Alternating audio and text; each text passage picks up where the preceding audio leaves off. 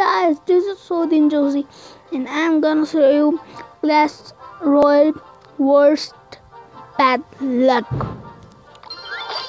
So let's get started. No, no, can I get less legendary please? What? Zero? No, I was in arena 6, now I'm in arena 5. How's that possible?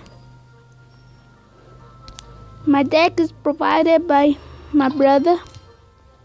What? Epic chest. No, I have no money. Shit, shit. What the was this bad luck? What?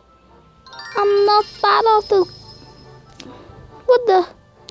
I'm very exhausted.